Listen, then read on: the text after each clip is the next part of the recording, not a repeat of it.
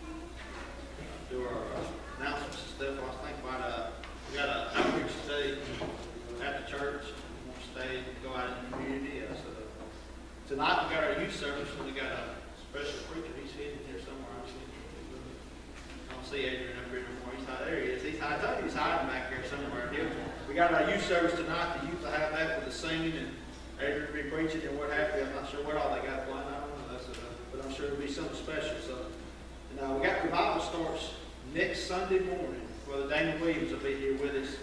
That's the fourth through that Wednesday night. We'll have Sunday morning, Sunday night service sometime, then Wednesday night at seven o'clock every night, we'll have revival services as well. And, uh, the uh, school, that new elementary school, Big Sandy Elementary is having a open house and a dedication next Sunday from two to four as well. I know some good bit of people live around in this area and what have you.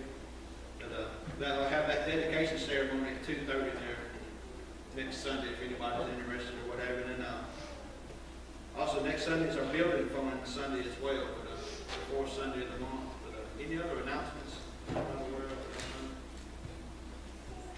Y'all, what's that?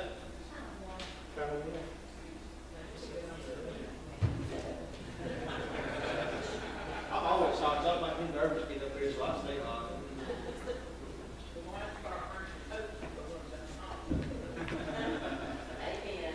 Amen. But, uh, all right, I guess, uh, on, the- on, got the, any other announcements, can think of, all right, any birthdays for this past week? To it? That's, it's amazing, man, we have, there'll be a, a four or five list of in here, before I come next Sunday, everybody, ain't don't nobody know. About any anniversaries?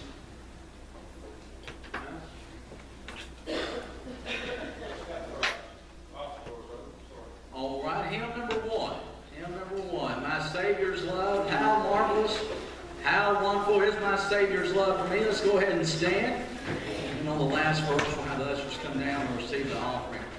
Hymn number one, my Savior's love.